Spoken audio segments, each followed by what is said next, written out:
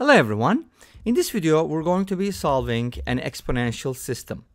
We have 2 to the power x plus y equals 3 and 3 to the power x minus y equals 4 and we're going to find the value of x squared minus y squared. I'll be presenting two methods and the first one will be a little bit more painful. So let's start with the first method.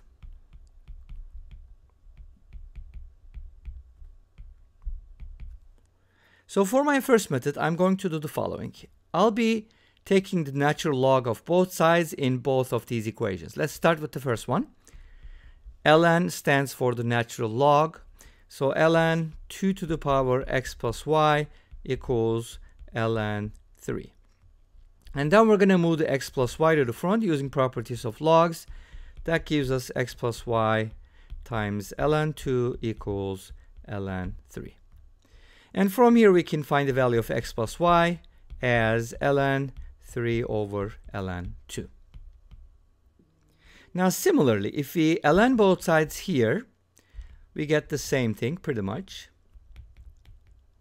We can kind of do this, move this to the front, and then divide both sides by that, divide both sides by ln 3, and here's what it comes down to. x minus y can be written as ln 4 over ln 3.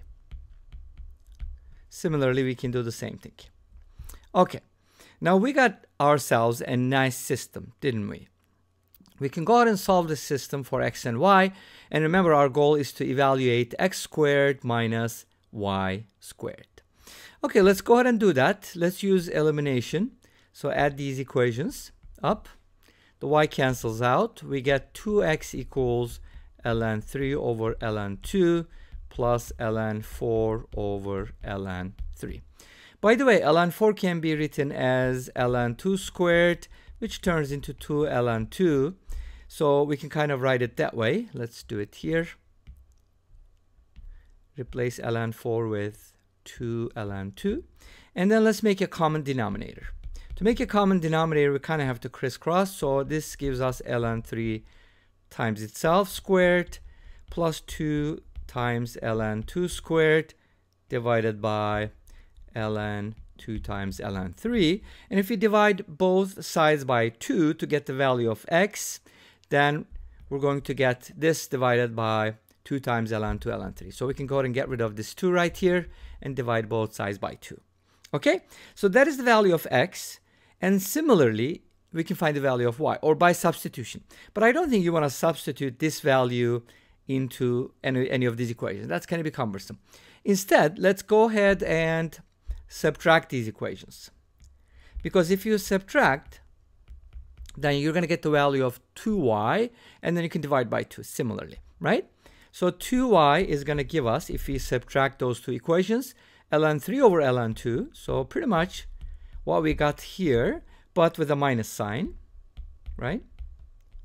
Pretty much the same thing with a minus sign. And then making a common denominator, we get 2y equals ln 3 squared minus 2 times ln 2 squared divided by ln 2 times ln 3. And similarly, we can divide both sides by 2 or multiply by 1 half. So to bring the 2 over here, and we can kind of get rid of this right here. That's the value of y. So let's go ahead and get rid of this. And I'm going to go ahead and put these two together. Let me go ahead and carry this over here so they can be together. Now, so we got the values of x and y, and our goal is to get x squared minus y squared. So how do we get that? I mean, the obvious answer is square both of these and subtract, right? So to make the squaring and subtraction a little easier, let's go ahead and call this a and let's call this b. So we kind of have a, a plus b and a minus b in the numerators, and the denominators are the same. So we, when we subtract, we're going to subtract something like this, a plus b, you know, over the denominator. Let's just call this whole thing capital D, squared minus a minus b over d squared. And that can be simplified a great deal. First of all, there's a well-known identity, which is commonly used, by the way, if you're dealing with algebra. This is very, very helpful, especially with expressions like x plus 1 over x, x minus 1 over x. This is actually a really, really good identity.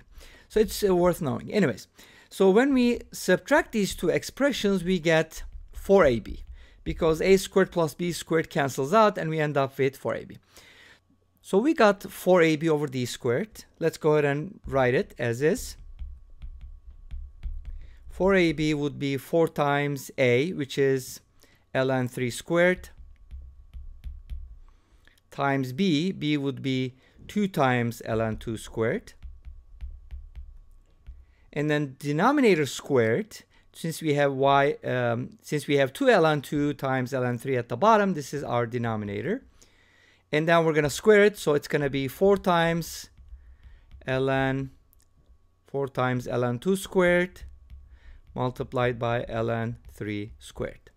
All right, so 4 cancels out, and then ln 3 squared cancels out, ln 2 squared cancels out, and we end up with a 2 at the end. So we get x squared minus y squared equals 2 as the answer. And what were we looking for? We were looking for x squared minus y squared. Great, so by using logarithms, we can find the answer. But the answer is fairly simple, so it kind of tells us there must be another way to do it. Obviously, I know some people are going to complain about it and they're going to say, hey, nobody is going to use the first method, but it's still a method.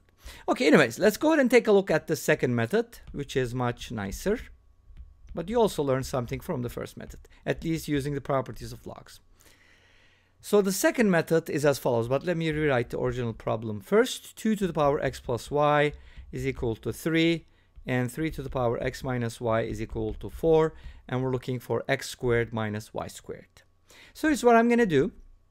Since 3 is equal to 2 to the power x plus y, I'm going to go ahead and substitute that here. So we have 3 to the power x minus y and 3 can be replaced with 2 to the power x plus y and then raise it to the power x minus y and 3 to the power x minus y as you know is equal to 4. Now forget about this and focus on the 2. Now we raise a power to another power, so we're going to multiply the exponents. And as you know, or you should know, x plus y times x minus y is x squared minus y squared. You see, this kind of tells you how important it is to be aware of this formula, difference of two squares. And 4 can be written as 2 squared, and from here we get something super duper nice, x squared minus y squared equals 2. And that's what we were looking for, right? And this brings us to the end of this video. Thank you for watching. I hope you enjoyed it. Please let me know. Don't forget to comment, like, and subscribe. I'll see you tomorrow with another video. Until then, be safe, take care, and bye-bye.